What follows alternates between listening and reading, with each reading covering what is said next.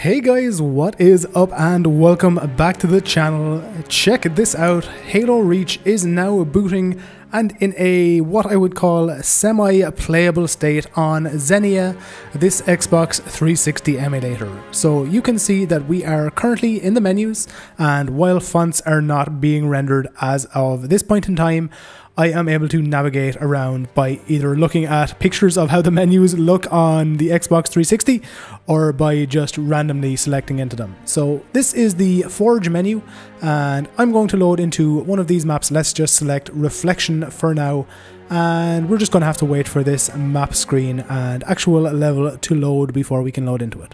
So you can see it loading in the top of my screen and once it loads I'm just going to click here and we are going to be able to load in and see exactly what rendered graphics are like at this point in time. And there we go, we are now loaded into Reflection in Forge Map Editor on Halo Reach on this Xbox 360 emulator. In a very similar circumstance to Halo 3, another game I showed booting and rendering graphics in this emulator, we do not have currently rendered tracers or explosions for grenades. So in this level there are actually some fairly odd vertex issues and it are they are actually caused by just the DMR weapon itself. So I'm gonna just yeah okay so you can actually follow the vertex explosion and find where this weapon is on the map and here it is. This is the DMR weapon model and if I just exit the editor mode and come back into gameplay, picking it up you will see that this weapon is basically what causes all of the vertex explosion on this map.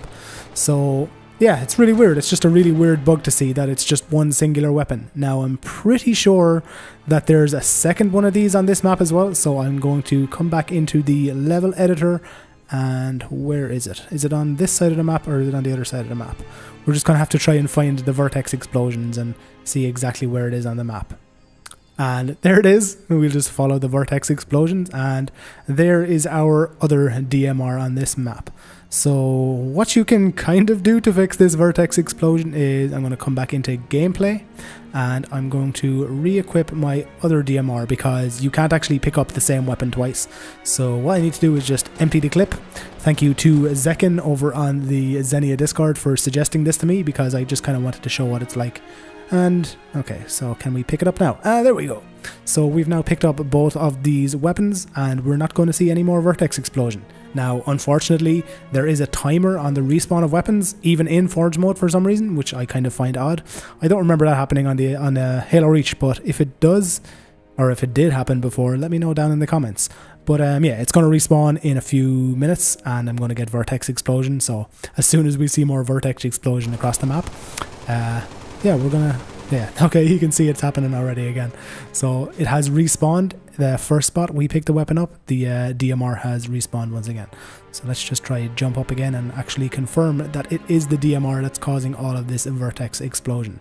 So it's just really cool to see um, Halo Reach booting on PC in an emulator. It's like a game that uh, for some reason, along with many of the other Halos, has never made its way to the PC platform, probably due to the fact that Microsoft still most likely thinks that PC gamers don't want the games. But anyway, yeah.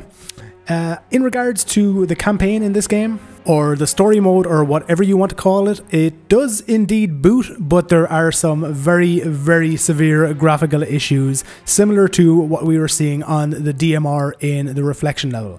So you can see that this is the intro video, and we are most likely going to see some weird rendering issues in it very soon. There you go. You can see that there's some weird, very weird, in fact, rendering issues, and it's basically only going to get worse. As you can see, it kind of this kind of stuff happens all the time, and it's like texture corruption. I'm not exactly sure exactly what's causing it, but there are still some fairly severe rendering issues, especially so with 3D models when it actually gets into gameplay. So yeah, you can see that while some of the models are rendered correctly, uh, quite a few of them are not, and we get this horrible vertex explosion and completely misrepresentation of what the graphics should look like.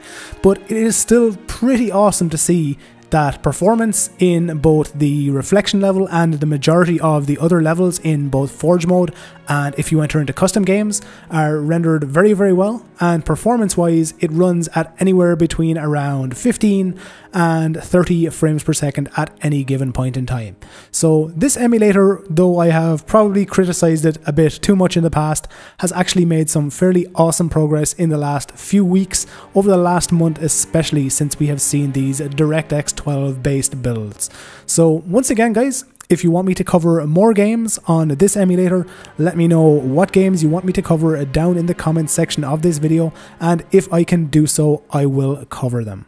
As always, cheers for checking out the video. Remember to like it if you liked it, dislike it if you didn't, and as always, subscribe to the channel if you want to see all future videos from me.